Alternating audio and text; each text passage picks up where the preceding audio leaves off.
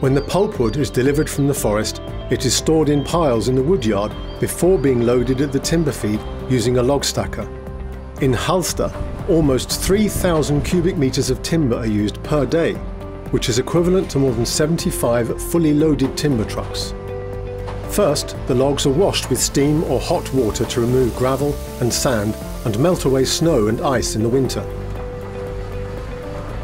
The pulpwood is fed into the debarking drum, which is a large rotating metal cylinder with flanges on the inside. The drum has a slight incline, which ensures that the logs move slowly forwards in the feed. When the logs pass through the debarking drum, they tumble around and rub against one another, thus loosening the bark from the timber. The bark is collected and used for bioenergy or as a soil improver. After the debarking drum, the timber passes a stone trap, where stones that have been brought in with the logs fall off.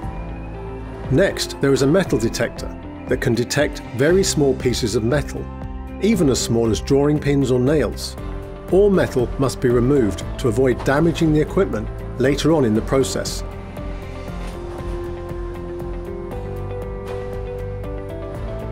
The logs are then fed down a chipper chute, where they fall onto a rotating disc with sharp cutting blades, which converts the timber into wood chips.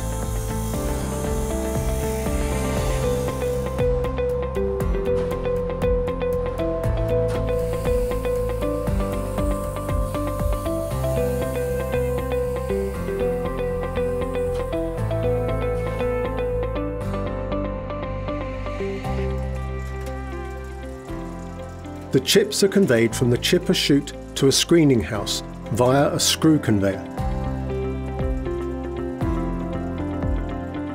It is extremely important for pulp quality that the chips are of the right dimensions, which is why all chips pass through a size screener to sort the chips according to size.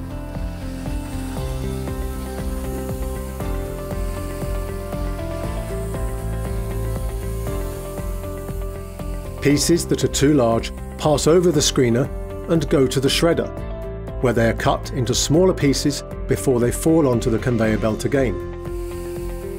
Pieces that are too small are used for biofuel.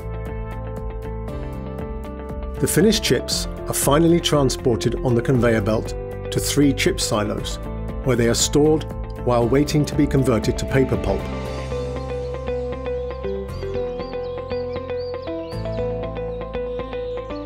When all three silos are full, there are enough chips to produce paper pulp for up to 28 hours, which provides a valuable buffer in the event of production disruptions.